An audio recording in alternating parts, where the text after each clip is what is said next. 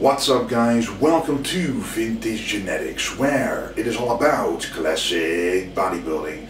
And we just did 30 minutes of cardio outside, that's how we always start every single day to make sure the metabolism is kept up and the steps on this watch are being taken. But now it's time for the breakfast. And I love cream of rice nowadays especially since having spent about, well, last Olympia, which is about a month ago, I spent a week in America and I had cream of rice every single morning and it digests really well. So we do have some form of cream of rice like this, but this is reserved for Lil Dexter. What I'm doing, because I ran out of the orange popular box of the USA cream of rice, we don't have any here, we can't get any here in the Netherlands at least, unless it's very expensive. So what I do is I make my own cream of rice using simple jasmine rice or you can use basmati rice. Doesn't really matter what kind of rice, but the stickier it is, the better it'll hold consistency when it cooks. Why? Because what I'm going to do is I'm going to put in regular rice and I'm going to blend it up in the NutriBullet blender, as you can see right here.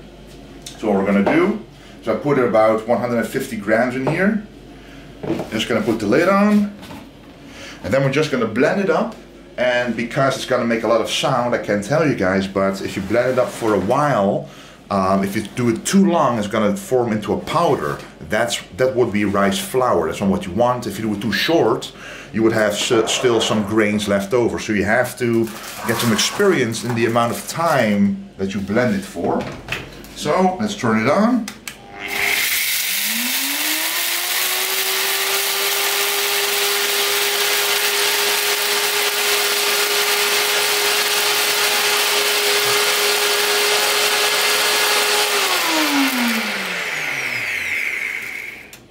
Okay, now what we want to see is the consistency of the cream of rice. And as you can see right here, you can see that it's not a fine, super fine powder. You can still see the little um, you know, granules of rice and that's what you want because we also have some, for example, some flour here. This, for example, is some rice flour that looks very different. It's actually brown rice flour and you can actually see that it's a fine powder and that's what we want. We want a cream of rice consistency. So just gonna put it in a pan with some other uh, herbs, I mean spices like cinnamon, some salt, and then we're gonna cook it and show you the end result. Alrighty, so now it's cooking away and as you can see, it actually looks just like a regular cream of rice. And I also put a little bit of buckwheat in here, that's the little specks you see 30 grams of buckwheat and 120 grams of cream of rice or just uh, jasmine rice mixed up into cream of rice. So you mix dry rice into a cream and this is the cream starting to uh, form. So what I usually do, I put in 700 mils of water for 100 grams, so I just put in 750 here, a little bit more. But this is kind of a higher heat, so what we'll do is put on a lower heat here Otherwise, the bottom of this will burn and that will uh, be very tough to eat. So we're going to place it here. Then it's going to keep cooking away. Going to keep uh, making this more and more firm.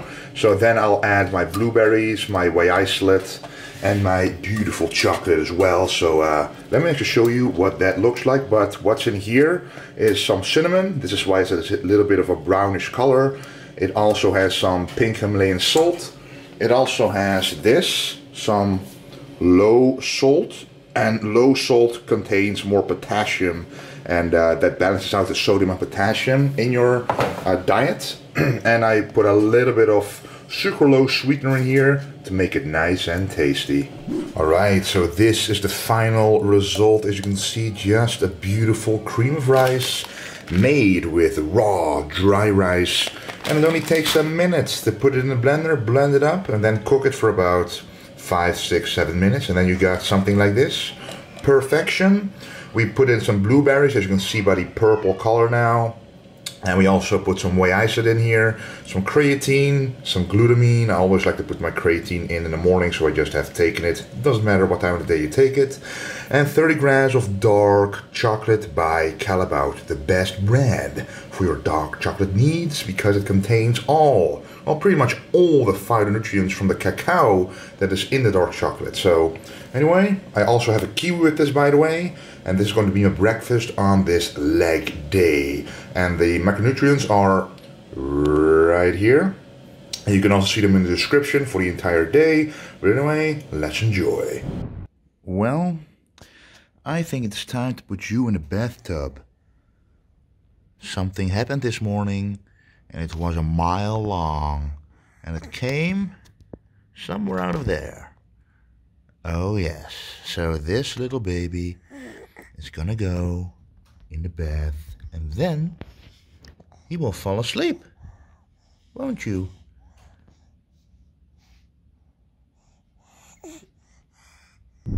Okay, so the bathtub has been filled. He's gonna have a nice book to read. He's gonna have some nice toys. Not just a duck, but also a cat. Hey, he got more than just a duck. Anyway, let's put him in here. Always calms him down, and then he will fall asleep. Just like that.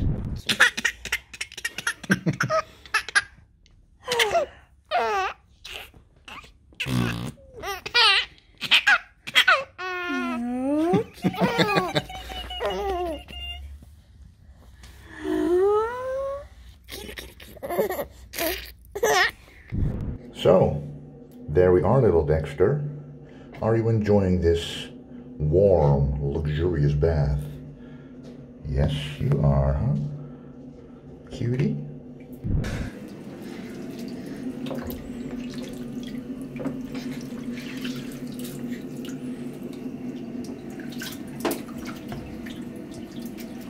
Little Dexter. You also have to learn English, so I have to speak English and Dutch to you so that you'll actually learn both languages that your English will be superior to anything we've ever heard before. That's what your voice will be like. Even better than that.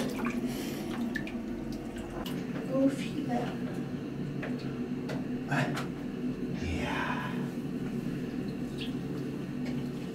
Zoe.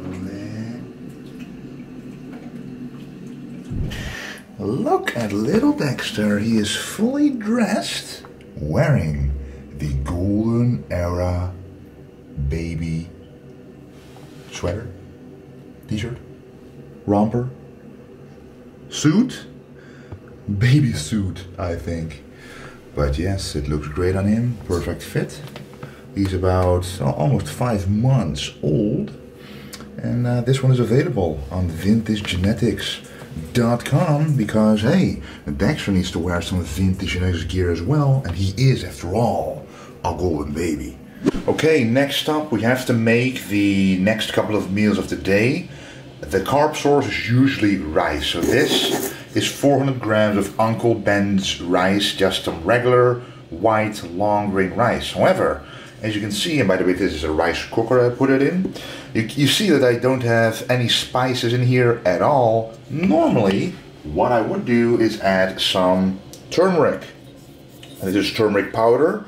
Now, I will still add turmeric, but in a different form right here.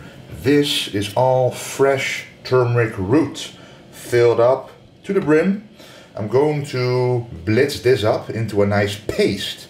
Add some water so it's actually more malleable and then put it about 50 grams of this inside here. And the big benefit is, of course, this is dried powder. It's basically um, void of a lot of the nutrients and benefits that this does have. This still has the oils and the uh, other benefits that will get lost if you dry this root into getting this because you always have to heat it up. For example, you simply will lose nutrients, phytochemicals.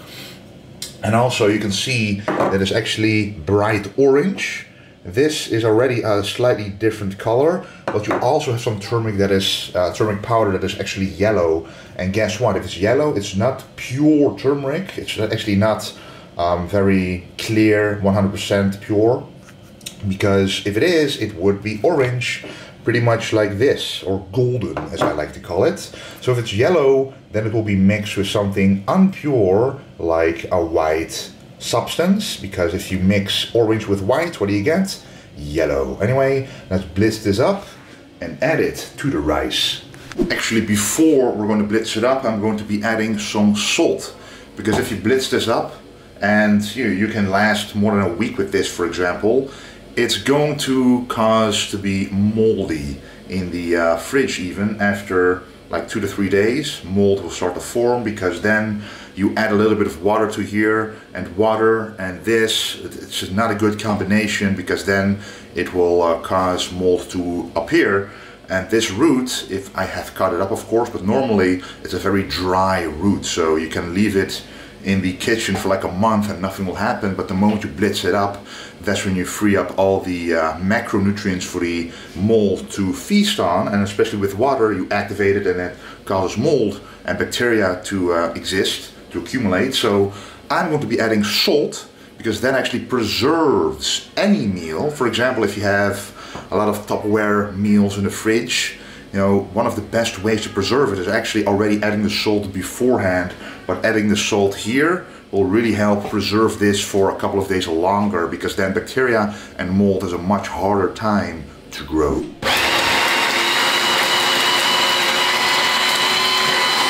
Okay, now this is the end result. Look at that golden goodness. So we blitzed it all up and also I put it in the rice already 75 grams actually because if I do 50 grams I think I'm gonna be with this way too long and then it's gonna go bad regardless so 75 grams every time also put in some fish stock right there for the salt content and then I'm gonna put this in the uh, rice cooker and show you the end result of what this incredible rice looks like. Alright guys, the rice is done and just look at the incredible goldenness of this rice. And look at this.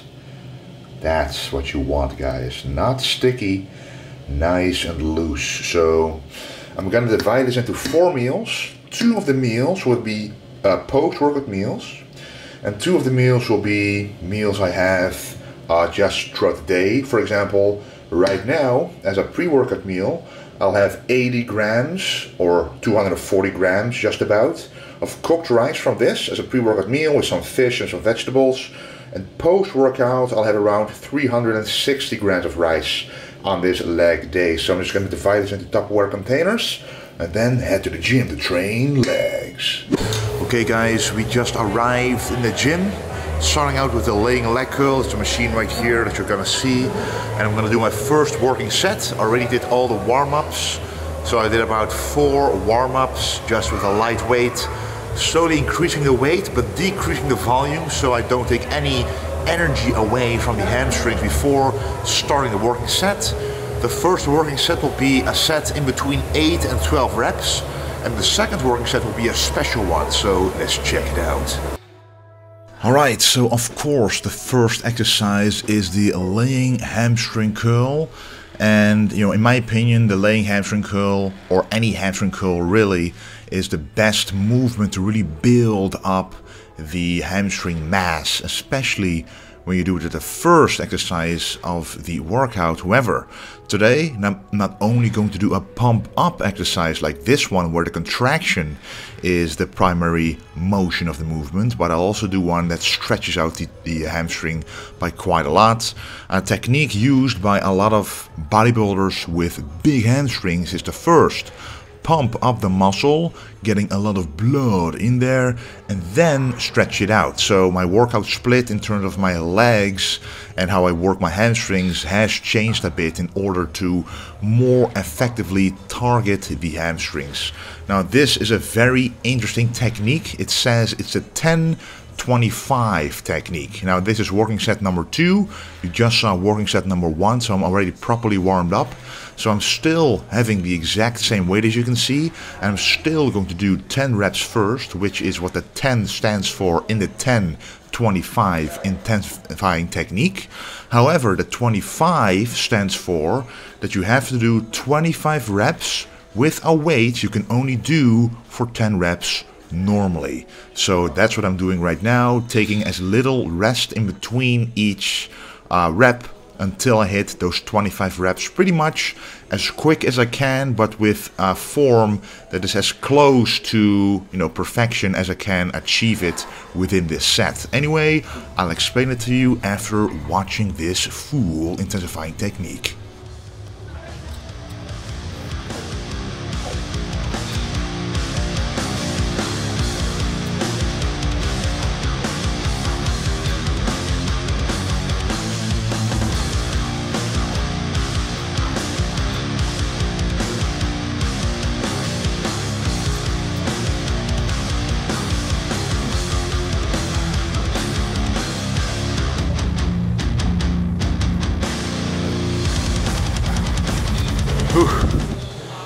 Was an extreme set, so that was an intensity technique. So normally I might do a cluster set, but then you have about 15 seconds in between a cluster of reps, which are like five reps. And then you can do, with your 10 rep max, you might be able to do three or four sets of five. So yes, that is an intensifying technique because you do more reps than you normally would. But this one, it's a John Meadows technique. It's called the 10-25 technique. So it's by John Meadows. He posted a video about it on his YouTube channel. Really advise watching him as well. So what you do is you take your 10 rep max, you do a hard 10, so that the 10th rep should be, you know, about 10, 11 reps should be your maximum amount of reps you can do with proper form. And then you want to hit 25 reps in that same set with as little break in between each rep.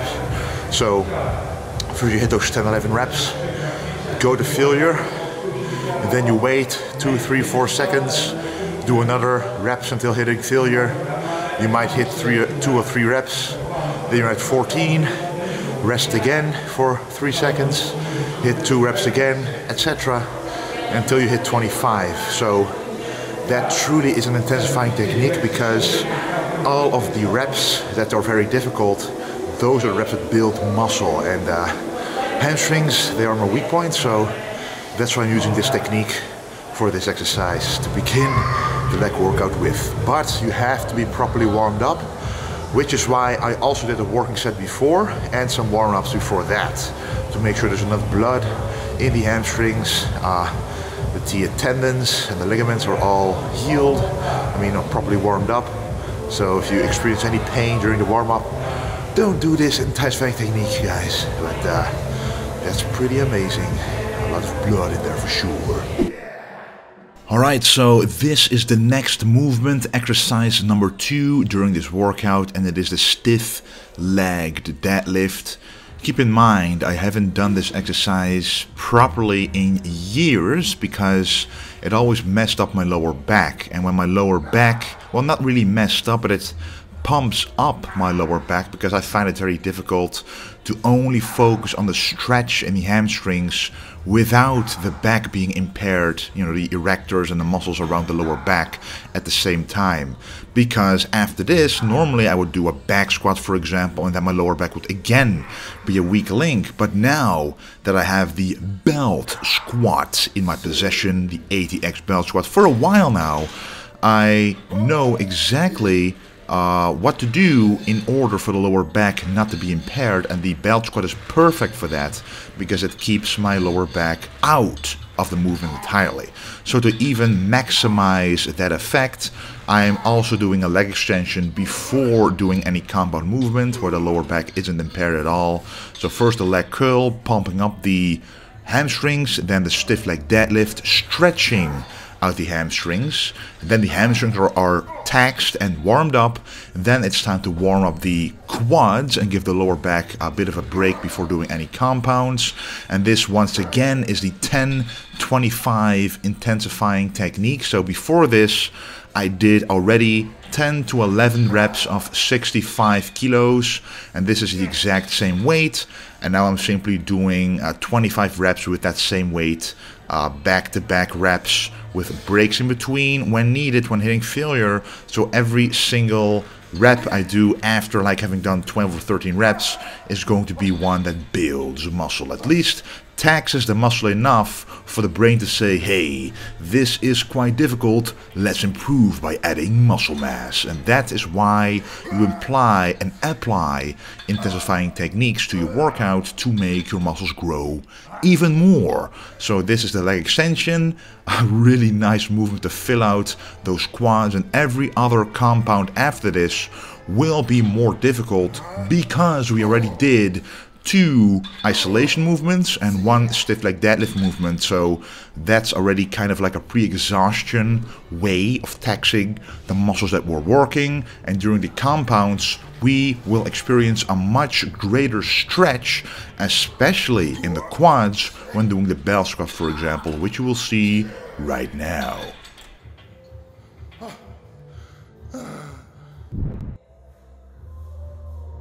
Alrighty, so this is the ATX belt squat, still my favorite squatting movement I can possibly do. Because if you look at my upper body, if you look in the mirror, it stays pretty much straight, which means there's no pressure, no tension on the lower back at all. Yet my our legs are able to go deeper than 90 degrees, breaking parallel, which means you're stretching out the quads more. A lot of people say, especially when you're a beginner, well, it's good enough to hit 90 degrees on uh, a squat or a leg press, for example. But the truth is, the deeper you go, so the more below 90 degrees or below parallel that you go, the more you stretch out the quads, and the bigger the stretch, the more growth will occur. So always try to maximize the stretch on each and every exercise. And the way to do this as well is if you look at my foot placement, uh, you know, about a year ago when we first got this movement, my feet would be a lot further uh, on the pad, a lot more forward. Then I could go even deeper, but that would only target the glutes more, not the quads, because you want your feet to be below your body as much as possible without your heels coming off of the platform when you go down. That's the balance you have to strike. So Put your feet as much below you as possible so you get actually the maximum stretch in the quads, but you still want to have your feet flat on the platform so your form stays correct and right. That's the way to properly stretch those quads and uh, maintain correct form. Now the same thing can be said for this leg press. I just showed two working sets on the belt squat. I'm just going to show you my last working set on the uh, leg press. I did a lighter set before this, the failure. So here again, I'm going below 90 degrees, making sure my quads are being stretched and my feet are not as high as possible on the platform, but they're a bit lower, uh, enhancing the stretch of the quads. Now try this out. And I'm also wearing, uh, by the way, these weightlifting shoes, which helps the range of motion for me because my ankle flexibility is quite poor. So if I have something wedged under my heels, like a weightlifting shoe, I'm able to go deeper, stretch the quads more without impairing my form. And the last movement is the standing calf raise. We don't have a standing raise machine in this gym, we do have a seated one. So instead of having an actual machine, you can just do this ATX belt squat for the standing calf raise. So this is a multifunctional machine on which you can do several different movements just like this one. So I just did two working sets on this and then finished the workout. Alright, so now the post-workout doesn't look the best, but trust me, this tuna has been sous vide cooked, which means cooked for 45 minutes and a certain temperature to make it nice and flaky, as you can see. So it actually tastes very good, but the look is always like a gray color. But it still tastes very good. And here we have the golden rice with the turmeric I made before. And I also have the kiwi right here, so I'm going to enjoy this one. And about an hour later have another post-post workout meal. Look at this, both meals right here. This one for Marley and this one for me with the two beautiful codfishes. We have the nachi, nachi, or naki. We have the tomato sauce. We have zucchini and a bit of onion. Right here, the exact same. I have about two thirds of the, of the gnocchi and Marley one third. So uh, yes, let's enjoy this and add salt whenever needed. Alright, look at that. This is the final meal of the day. Vegetables, just a little bit. We have some pumpkin right there. We have two salmon fillets, one half and one whole, accounting for about 300 grams of salmon, good amount of omega-3 fatty acids, and a good amount of protein as well. And right here we have the carb source, 120 grams of oats. We have also some red fruit in here, 75 grams, and 30 grams of the dark chocolate, and also the pineapple I showed before. So this is gonna be delicious. Alright guys, that was the video of today. Just a regular leg day. How my days usually look. Of course, haven't shown everything, like the more boring work you guys probably don't want to see answering the emails, all the DMs on Instagram, which I try to answer as many as possible. But maybe I'll show you how I go to work with uh, coaching and uh, talking to clients and doing the work and nutrition plans which I also do throughout the day. So, uh, you know, maybe exciting to some, boring to others. But anyway, I really want to thank you for watching and don't forget to stay golden.